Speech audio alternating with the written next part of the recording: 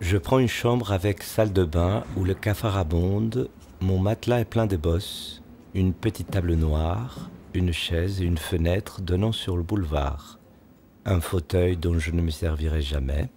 Je leur dis que je vais passer deux semaines à écrire. Je suis écrivain.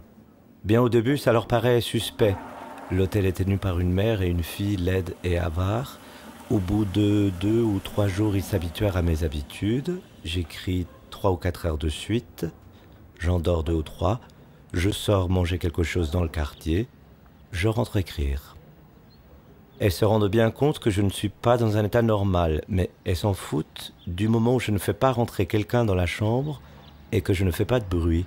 Il n'y a que moi, à écouter le bruit de ma bique sur mon cahier et à respirer la fumée de mon herbe bien arrosée de vodka. C'est là que je sens la force de tuer Pierre. Dans cet hôtel sordide, personne ne reviendra me retrouver.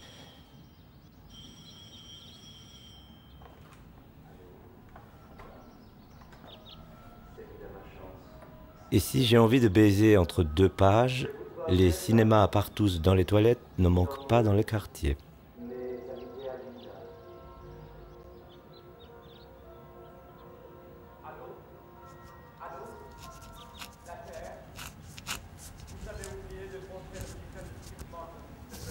C'est la troisième fois depuis un an que je commence à écrire ce texte dont le sujet ne doit pas m'intéresser tellement. Quand j'arrive au bout d'un cahier, je le perds le jour même. Et comme j'oublie tout ce que j'ai écrit, je dois recommencer de zéro.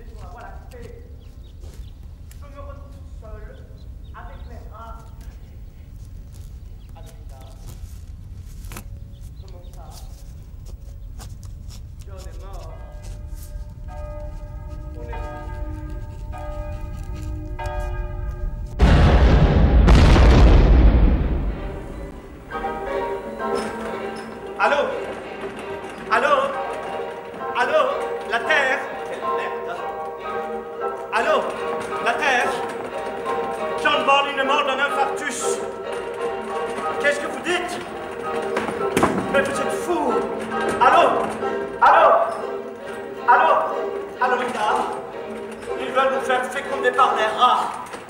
Ah non Ah non Linda, pas moi. Vous faites ce que vous voulez. Je trouverai mieux quelqu'un dans l'espace. Allô Allô Allô Allô Vénus Ici une terrienne Non, je n'ai pas dit une terrine, j'ai dit une terrienne. Mais qui êtes-vous? Un homme singe de l'étoile polaire Vous êtes envahi par les hommes singes de l'étoile polaire Allô Allô Linda On n'a pas d'autre solution Allons-y.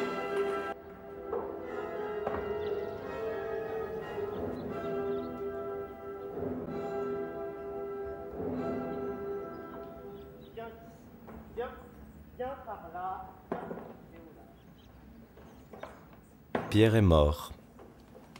Et l'écriture se compose tout seul dans la douleur que sa mort me provoque, vivant de ma douleur. Mon éditeur ne méritait pas tant. D'ailleurs, je lui dis. Tu n'es pas à l'épargne des réalités de l'existence, me dit-il, mais est-ce que tu étais si lié à lui? C'est la seule personne que j'ai vraiment aimée.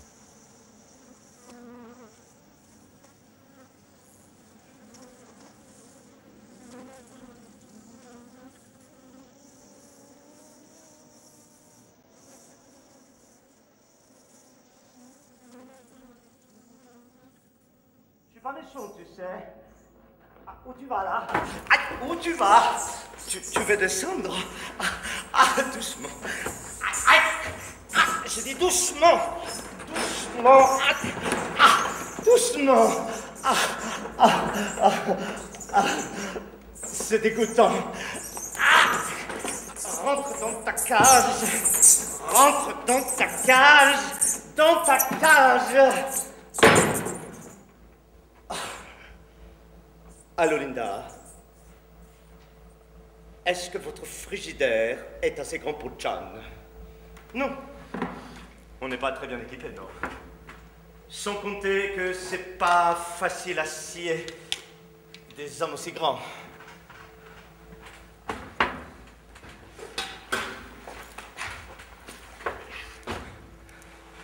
Et si on les mangeait, Linda? Euh, non non, on n'est pas cannibale, mais on a besoin de calories quand même. Et si on se mangeait une cuisse C'est faim, moi On va pas faire cadeau de toute cette viande au verre de Bételgeuse. Hmm. C'est pas exquis, mais c'est toujours de la viande. hein. On dirait de la tortue. Ah, attendez, j'ai quelqu'un sur ma ligne. Allô Allô Allô Allô Allô Allô Allô Allô Allô Allô Allô C'est rien. C'est ma propre voix qui se reflète sur les anneaux de Saturne. Allô Allô Allô Allô Linda Ah, Écoutez. Ah, Non, non, Linda, écoutez, c'est pas parce qu'on est seul qu'on va devenir lesbienne. Ah non, ah non, Linda, arrêtez. J'ai jamais fait ça avec une femme, moi. Linda, on ne m'aime pas dans le même satellite. On ne peut pas baiser avec la voix, voyons. Vous sentez pas qu'il bouge les rats Il se forme vite. Ah, ah, ah. Chez vous, tout va ok, Linda? Un enfant? Mais alors, vous étiez enceinte de John. 8 kilos Bah dis donc. Ah! Ah, il y en a un autre. 4 Ah! Mais ils sont des têtes bizarres pour des rats. C'est des chauves-souris, elles sont de petites ailes. Chez vous, va ok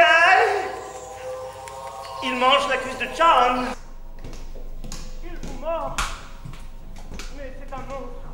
Débarrassez-vous-en, jetez-le dans l'espace. Vous l'avez ficelé, là? Mais qu'est-ce qu'il crie? Allô, Linda Ne le tuez pas comme ça. Relâchez-le dans l'espace, il a une chance de survivre. Allô Allô Allô, Linda Vous m'entendez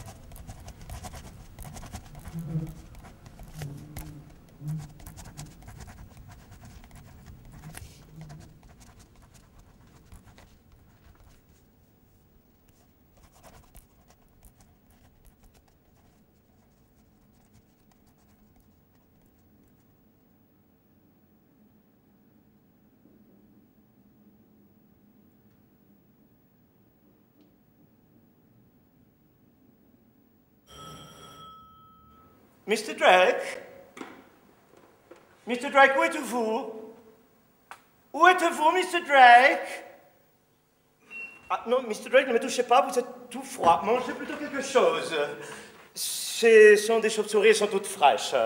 C'est pas mauvais, non Mr. Drake, ne me touchez pas Allô, Linda. Il faut penser à ce qu'on va faire de tout cet or. On n'a plus de compte à rendre à personne. Arrêtez, Mr. Drake Arrête Dites, Linda, qu'est-ce qu'on va faire de tout cet or? Mais comment quel or? On va le semer sur Betelgeuse. C'est là notre mission. Vous ne vous souvenez plus de rien. Écoutez, Linda, je peux toujours vous raconter votre histoire, mais je ne vois pas à quoi ça vous avancerait puisque vous n'avez plus de mémoire. La télé? Mais quelle télé? Mais non, Linda, il n'y a plus de programme, il n'y a plus de terre. J'étais souvent blessé, je le sais, et toujours injustement.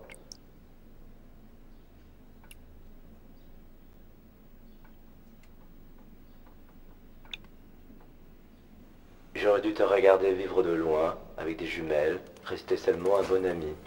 Mais j'avais besoin de ton odeur comme cible de mon regard. L'as-tu jamais compris? Non, tu ne l'as jamais compris. Je t'ai fait peur, je t'ai fait fuir. Tu es allé te réfugier dans le regard vide d'une blonde et tu t'es noyé dans un lac d'acier bouillant. Vous me voyez, moi? C'est vrai? Ah, Non. Ah non.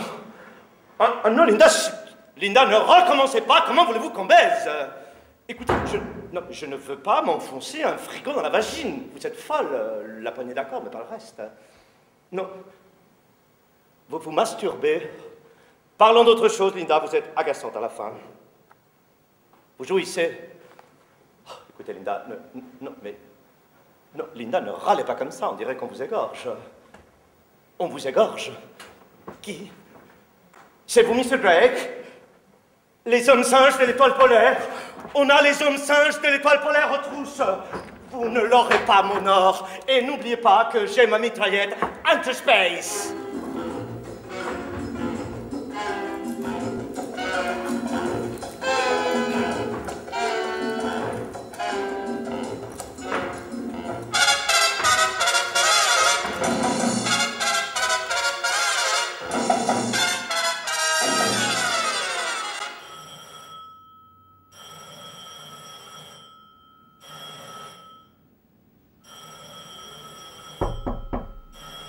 Monsieur. Monsieur Copy Monsieur Copy